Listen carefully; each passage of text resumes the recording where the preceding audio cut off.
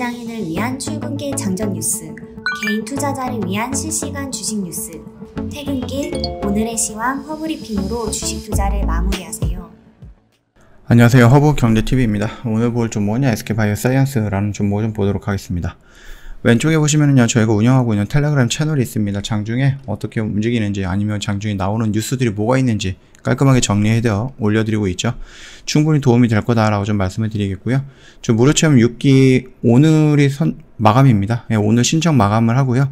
어, 다음 주 월요일부터 진행을 하게 될 거니까 요거 늦지 않게끔 신청해 놓으시면 될 것 같아요. 카카오톡 아이디로 카톡 친구 추가하시면 되는데 영상 하단에도 아이디가 있습니다. HERB2019 입력하시면 된다. 이렇게 말씀드립니다. 자, 어떤 매매를 할다 라고 좀 궁금하시면은요, 요런 매매를 하게 될 거예요. 그래서 이런 것도 그냥 아무거나 보시면은, 오늘 뭐 한국 맥널티 매도를 진행을 했고요. 이것뿐만 아니라 이제 휴림 로봇도 저희가 매도를 진행을 했습니다. 그래서 이런 식으로 좀 보면은 휴림 로봇, 한국 맥널티 이런 식으로 정리했던 것들 같이 매매하게 될 거니까는 뭐 언제든지 저희한테 어, 같이 하자 이렇게 신, 신청을 해주시면 되겠고요. 아직까지 믿지는 못하겠다. 그래서 나는 경험이 필요하다. 하시면은요, 6기 무료 체험 신청하시면 된다. 라고 좀 말씀드리도록 하겠습니다. SK케미칼 정광현 사장이 SK 바이오 사이언스 주식 전량을 매도한 겁니다. 이거는 그냥 자기가 개인적으로 보유하고 있는 그 종목에 대해서 이거를 매도한 거지 SK 그룹이 SK 케미칼이 갖고 있는 것들을 전량 다 매도한 것은 아니다라고 좀 봐주시면 될 것 같아요. 그래서 우리가 SK 어, 바이오 사이언스 주주 현황 이런 거 보면은 정광현 이분이 나와 있죠. 0.03% 정도. 그래서 요 물량 정도를 정리했기 때문에 뭐 그렇게 큰 타격을 주지는 않는다라고 좀 봐주시면 될 것 같고 다만 이제 뭐 이게 SK 바이오스 바이오 사이언스에 관련되어 있는 누군가가 정리한 거다라고 했을 때에는 뭐 분위기가 이렇게 나빠 나쁠 수도 있어요. 뭐 대표이사라든지 사장이라든지 이런 사람들이 정리하면은 아니 그래도 우리가 이 회사를 끌고 가는 사람인데 우리 회사의 주식을 안 갖고 있으면 말이 돼? 이런 식으로 해서 조금 시장에서 부정적인 영향을 올 수도 있다. 그렇게 생각해 주시면 될 것 같습니다. 자 일단은 좀 정리한 거는 정리한 건데 얘는 SK 케미칼 사장님이죠. 그렇기 때문에 케미칼 주식을 정리한 것도 아니고 SK 바이오 사이언스의 주식을 좀 정리한 거다라고 좀 봐주시면 될 것 같습니다. 여기서 살짝 걱정이 되는 부분은 뭐예요? 아 얘네들 SK 케미칼이 바이오 사이언스의 지분을 조금 매도할 것인가? 라는 부분에 대한 조금 걱정스러운 우려도 있습니다. 왜냐면은 뭐 여러 군데에서 여러 군데에서 SK 케미칼 주가가 움직이지 않으니까 어떻게든 끌어올리기 위해서 바이오 사이언스의 지분을 좀 정리하고 현금 확보하자. 그걸로 인해서 조금 상승 모멘텀을 만들자 이런 얘기가 나오고 있거든요. 그러다 보니까 어, 바이오 사이언스 입장에서는 살짝 기분이 아 조금 그렇습니다. 자 일단 뭐 이런 내용들은 있었다라고 보시면 되는데 요거는 어저께도 나왔던 내용이기 때문에 그렇게 크게 어, 볼 필요는 없고요. 맞을 사람 다 맞은 거 아닌가. 토종 백신이 만드는 SK 바이오 사이언스. 그래서 오늘만 굉장히 좀 하락을 많이 했다. 그러니까 3분의 1 토막이 났다고 좀 보시면 될 것 같습니다. 36만원 넘었다가 현재는 12만원대로 좀 떨어졌기 때문에 단기간에 너무 많이 떨어졌다라고 좀 봐주시면 될 것 같아요.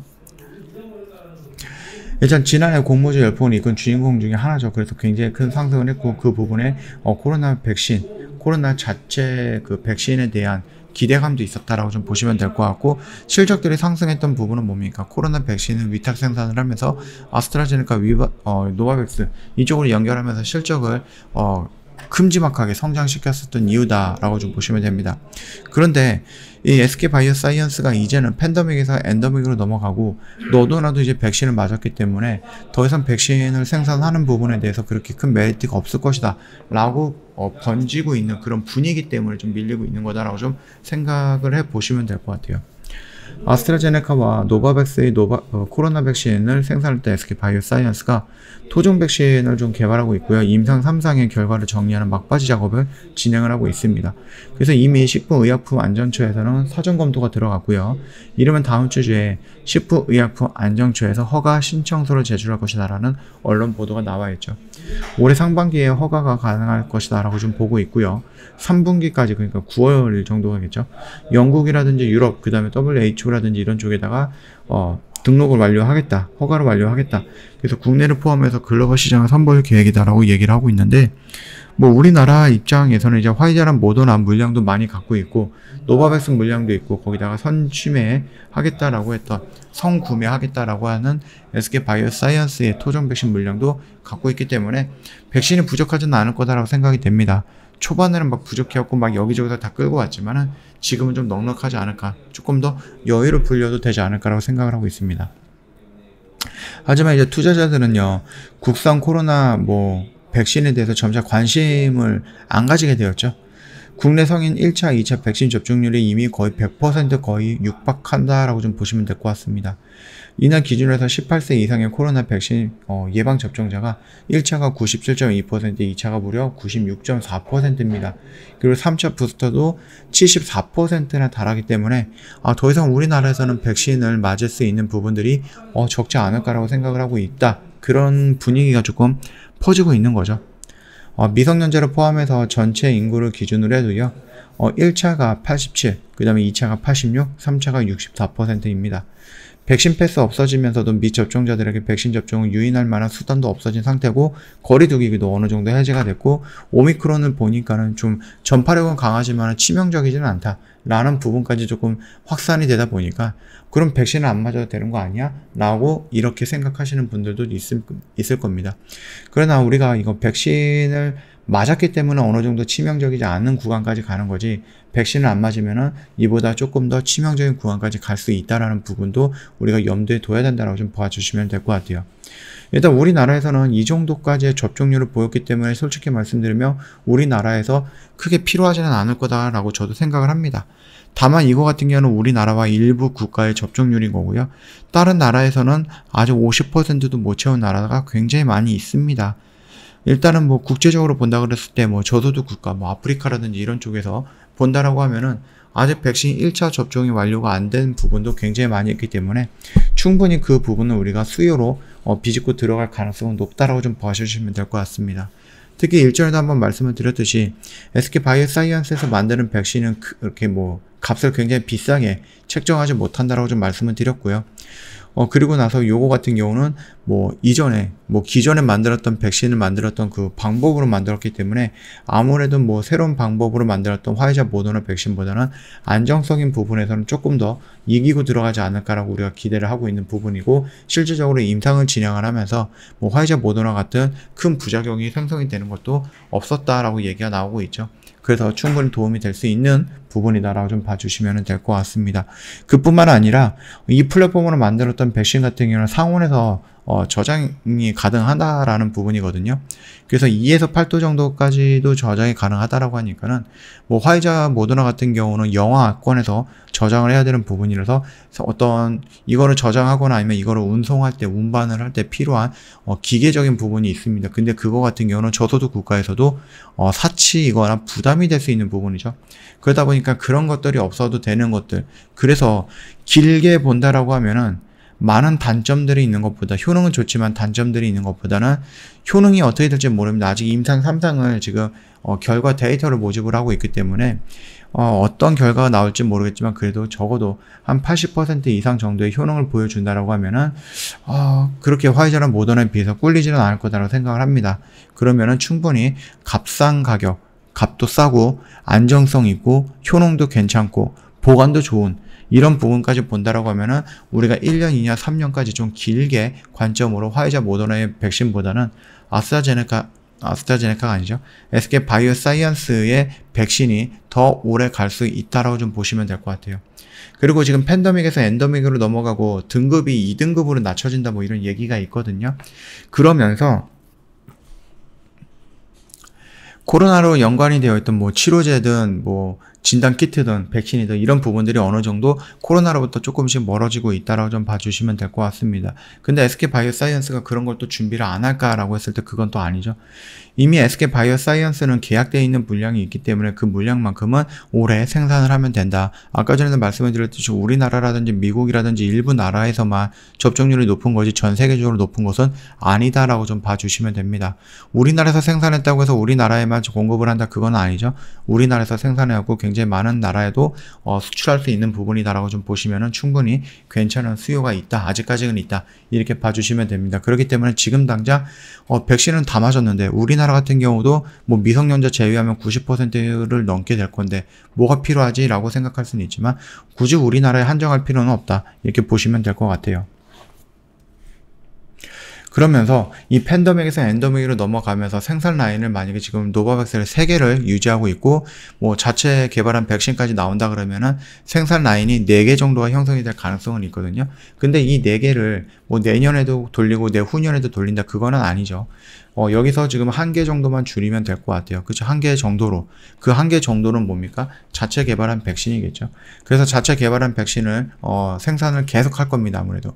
뭐 많은 전문가들이 뭐 코로나 같은 경우도 이제 독감처럼 매년 좀 맞아야 되는 그런 부분이다라고 얘기를 합니다.